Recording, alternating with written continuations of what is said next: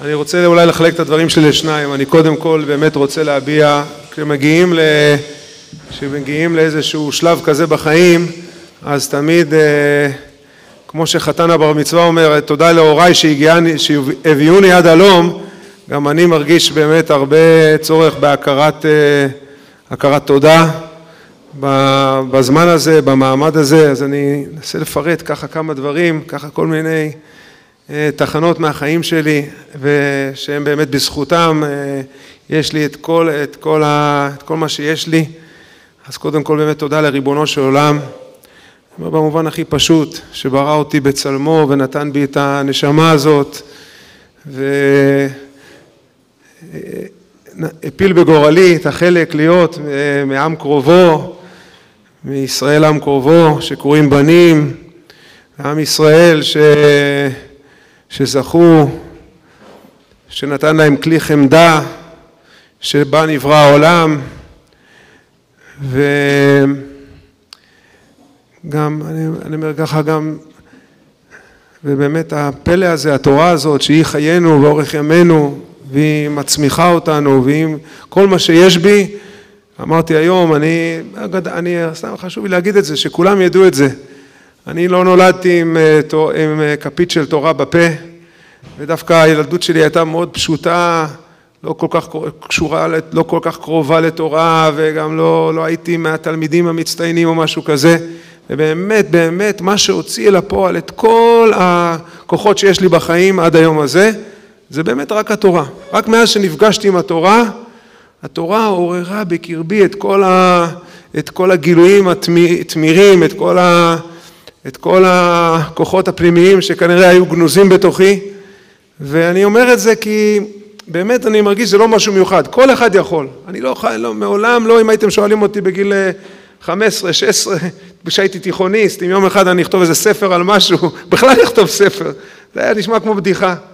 ובאמת רק התורה, רק, ה, רק המפגש עם התורה, עם דבר השם שנותנת חיים לכל חי, היא באמת הוציאה אותי מן הכוח אל הפועל אז תדעו לכם, לא באמת, אני אומר את זה לכל שוכני בית המדרש ולכל מי שנקשר לתורה שכל אחד צריך להאמין בעצמו ולדעת שהתורה יכולה להחיות אותו, לא שכל אחד צריך לכתוב ספרים, אחד יהיה מח"ט, אחד יהיה מנהיג, אחד יהיה לא יודע מה, שר הביטחון, אחד יהיה, לאן שלא תגיעו, אחד יהיה אבא טוב, אחד יהיה, כל, אבל, אבל הכל התורה תצמיח בכם כוחות אינסופיים שבהם תגלו את הכוחות האדירים שיש בתוככם בטוב, בכישרון, במוסריות, בשלמות, בחסד ובהמון המון אור שיאיר את חייכם.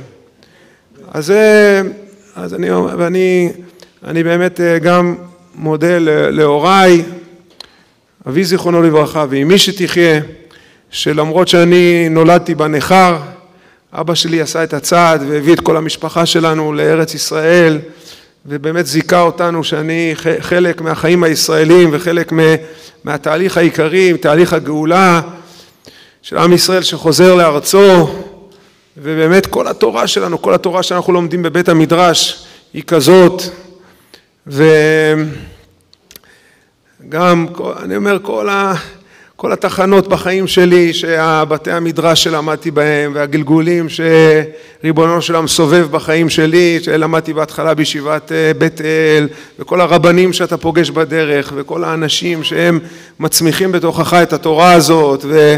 אחר כך למדתי בישיבת מרכז הרב ויותר מאוחר גם עברנו לעצמונה וגם שמה למדתי בבית המדרש ובכלל היישוב עצמונה זה גם היה אכסניה של תורה ואחר כך היישוב נווה כל זה זה היו בתים של תורה שבהם באמת האישיות שלי הלכה והתגבשה תורה כתורת חיים ו... ואני פה גם אחר כך אני אחר כך באמת האכסניה של המכינה, אני רוצה באמת, זה ה... כשאנחנו עברנו לעצמונה לפני המכינה ואז באמת שאנחנו, כבר הייתי בעצמונה אז הרב רפי פנה אליי להצטרף לצוות של המכינה ובאמת במובן הזה באמת המכינה היא באמת בית המכינה, בית המדרש של המכינה זה החממה שבה בעצם עיקר ההתפתחות שלי. ופה אני גם אומר קודם כל גם הרב רפי שנתן בי באמת הרבה אמון בכל המצבים, גם כשכמו שהוא סיפר קודם, גם כשבאמת באתי ורציתי משהו שבהתחלה לא כל כך היה נראה לו, הוא, הוא בסופו של דבר נתן בי אמון ונתן לי את ברכת הדרך ובאמת זה הצמיח הרבה מאוד דברים. אגב, באמת, מי, מי אמר קודם שלא יודע מתי אני מוצא זמן, באמת, אני לא, זהו, אין לי זמן, אין לי זמן. אני באמת אומר, אני, אני, אה, הספר הזה נגמר לפני שהתחלתי לעבוד במדרשה. כי באמת כשהייתי רם צעיר במכינה לא, לא, לא, לא, לא, לא היה לי מספיק את ה... רם צריך להיות באמת, זה, זה תפקיד מאוד מאוד אה, של התמסרות. ו, וגם היום, אני לא יודע, אני, אני מתפלל להשם שכן ייתן לי עוד, עוד איזה פנאי או משהו כזה, שזה שקצת נחת, שלכתוב צריך נחת, ובאמת לא, לא הייתי יכול, לא, הייתי, לא יכולתי לקחת אחריות על ספר כזה אם הייתי צריך לכתוב אותו בתקופה הזאת, והכל באמת נגמר לפני המעבר שלנו לשלומית, פה נחתם, ו... אז אני אומר, האכסניה של המכינה עד היום, אני, אני רוצה בזה באמת לציין את הנקודה של מתלמידיי יותר מכולם, כל מה שבאמת, אני, היום אני גם יכול להגיד תלמידותיי, ברוך השם, וזו זכות גדולה ובאמת כל השנים, מהשנה הראשונה, השאלות, אני כל כך, אנשים תמיד היו שואלים אותי, מה, איך אתה יכול להתחיל במכינה שנה אחרי שנה, ואני אף פעם לא התעייפתי, ותמיד, אני מאוד מאוד אוהב את בחורי המכינה, ואת הצמאון שלהם, ואת ה, את השאלות הכנות, וזה מה שגידל אותי, זה מה שהצמיח אותי, וכל מה שבסוף הצלחתי גם אולי לברר לעצמי דברים, ובסוף גם להצליח אולי לכתוב משהו, ולכתוב איזושהי משנה סדורה, זה הכל הכל מתלמידיי יותר מכולם. אז גם היום אני אומר השותפות עם הרב ראי אנחנו באמת עובדים הרבה מאוד ביחד וזה באמת כל כך אה, כל כך נותן לי המון המון כוח שאני חלק מהבית הזה שבאמת שבאמת הוא בית, הוא בית הגידול העיקרי שלי. אני פה גם רוצה להודות לאשתי חגית שבאמת לאורך כל השנים שבהם גם שאני גם לומד וגם מלמד היא תמיד אה, אף פעם לא אמרה לי לא, ותמיד עודדה אותי, ותמיד שאין מצב שכאילו שרציתי ללכת ללמוד ו... והיא אמרה לי לא, תישאר בבית או משהו כזה, באמת. והיום היא הזכירה לי שרק היה משהו אחד, הרב אפי, אתה שומע? היא הזכירה לי שפעם בעצמונה הייתי נותן שיעור תפילה אחרי התפילה. ואז באמת זה היה כשכבר המשפחה גדלה יותר, והיה לטפל בה, להוציא את הילדים בבוקר, זה לא איזה מעמסה פשוטה. אמר לי אין מצב, זהו, זהו, עד כאן, אחרי התפילה, תעביר את השיעור ללפני התפילה ו- ו- והכל בסדר. וזהו, ומאז החבר'ה פשוט מעצמון היו צריכים לקום יותר מוקדם, קמו לפני התפילה, השכימו שיעור תפילה, ככה במחזורים האלה, מחזור ג', ד', זה, היו חבר'ה כאלה, גם חמש בבוקר לא הפחיד אותם, מתי שזה לא היה, שש, אני יודע. אז אה, זה, זה המציאות שצמחנו בתוכה, אז באמת אה, זה באמת אה, הודעה גדולה כמובן חגית אשתי ולמשפחה שעמדה מאחוריי כל השנים האלה. ובאמת בזכות זה כל, ה, כל הצמיחה במשך כל השנים האלה. אני רוצה, מקווה שהזכרתי את הכל כמובן הידידים, הרמים פה, השותפים, החברותות, באמת לכל, ה, לכל המסע לאורך כל השנים שהיינו פה ביחד, שאנחנו עדיין ממשיכים להיות ביחד. אני רוצה באמת כמה מילים, רק כמה מילים על ה... מה, מה זה ה... כל הספרים הקודמים שכתבתי, זה היה ברור מה, מה הנושא, כאילו דברים יותר, הרבה יותר כאילו נגיד פופולריים, ידועים, נושאים אה, ככה אתה כותב ספר על פורים, אז אה, יש לזה... אנשים רוצים ללמוד על פורים, אבל מה, מה, מה, מה זה השיגעון הזה שתפסתי, התלבשתי על איזה פרק בתהילים, כתבתי ספר, ספר לא, לא, לא קצר גם. מה, מה, מה בא לי בחלום, כמו שאומרים, לתפוס את הפרק הזה, ומה מה, מה מצאתי בו, כאילו. אז אני רוצה רק להסביר באמת בקצרה, שקודם כל את, ה, את התגלית העיקרית, מה זה הפרק הזה, קודם כל לא הכרתי את הפרק הזה באמת, ובאמת התגלית שלי על הפרק הזה, זה היה בעיקר ממשהו שראיתי במהר"ל בהקדמה לתפארת ישראל. יש, המהר"ל בהקדמה לתפארת ישראל, הוא מדבר על המספר שמונה מתוך הקשר לתורה, ואז הוא מזכיר את פרק י"ט בתהילים, שזה למנצח מזמור לדוד השמיים מספרים כבוד אל שאנחנו אומרים כל שבת, שהוא מחולק לשניים, שבע פסוקים על ההתגלות השם בטבע, השמיים מספרים כבוד אל, ואחר כך שמונת הפסוקים האחרונים זה שמונה פסוקים על התורה. התורה זה מעל הטבע, שמונה זה תמיד המעל הטבע. ובאמת, אני הרבה מאוד, אמרתי, סיפרתי היום לבנות שברוך השם יש לנו דברים של הרב זצ"ל, בעולת טריה, על הפרק הזה, והרבה מאוד מהדברים החשובים שלמדתי על מקומה של תורה וערכה של תורה זה מהפסקאות האלה בעולת טריה, על שמונת הפסוקים האלה בפרק י"ט בתהילים. ואז אני ראיתי אחרי זה המהר"ל ממשיך, הוא אומר, וזה גם מה שיש בתמניה אפי. לא ידעתי בהתחלה בכלל מה זה בכלל תמניה אפי, ואחר כך התברר לי, ומעניין, מה זה תמניה אפי? מה זה הפרק תמניה אפי? אחר כך בעצם התברר לי, פרק תמניה אפי זה כינוי שיש בחז"ל לפרק קי"ט בתהילים. מה זה תמניה אפי? שמונה פנים. הפרק הזה, זה הפרק הכי ארוך בתנ"ך, שיש בו 176 פסוקים. אגב, הזכרתי את זה היום, גם פרשת נשוא.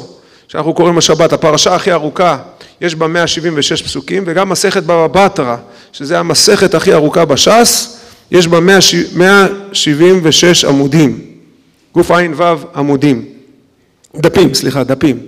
זה מעניין, דיברו על זה, זה לא, לא הראשון ששמתי לב לדבר הזה, אבל בעיקר, מאיפה, מה זה המאה שבעים ושש האלה? זה שמונה פעמים עשרים ושתיים, הרי כידוע יש, פרק קי"ט הוא בנוי יש שמונה פסוקים מכל אותיות האלף בית, לפי הסדר.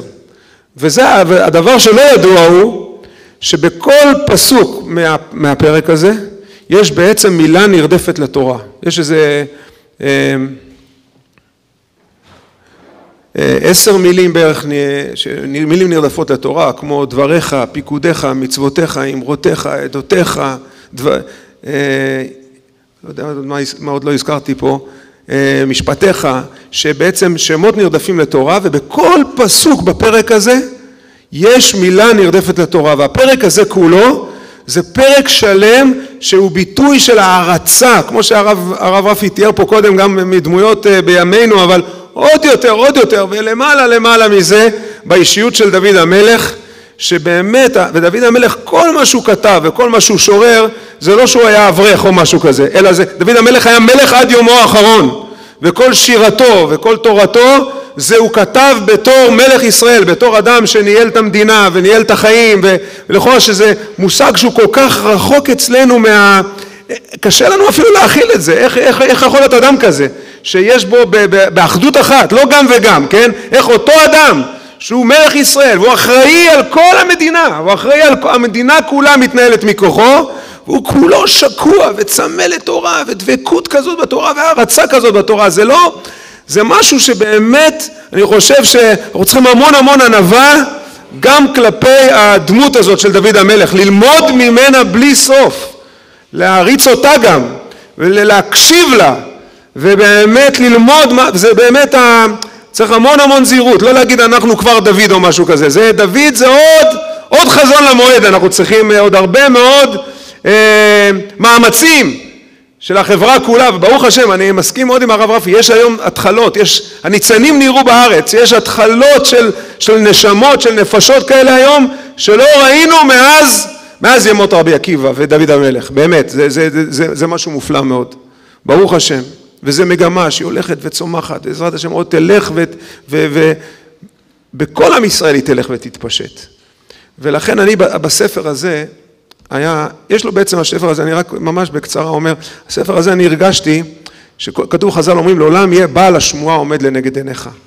להבין מי אומר את הפרק הזה, מי זה, מי זה האדם, מי זה הדמות הזאת.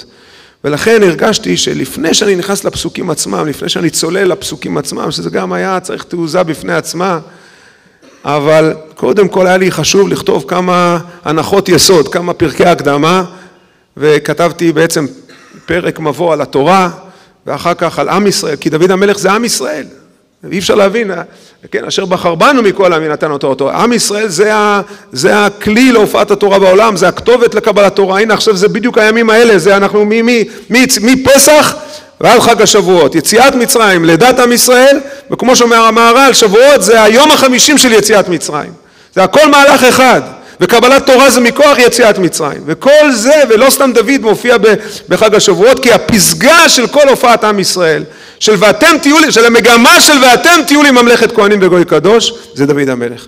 לכן כתבתי על התורה, אחר כך על עם ישראל, אחר כך על דוד המלך, וכל זה זה הנחות היסוד הרוחניות, שבעצם כל שירתו וכל הדמות המופלאה הזאת של דוד המלך והקשר שלה לתורת השם במובן הכי גדול והכי עמוק, זה הפלא והמיוחד. אני באמת, כשמצאתי את פרק קי"ט בתהילים, אז אני הרגשתי שמצאתי, אם אפילו פרק י"ט בתהילים, שמונת הפסוקים, כל כך רוממו אותי וכל כך...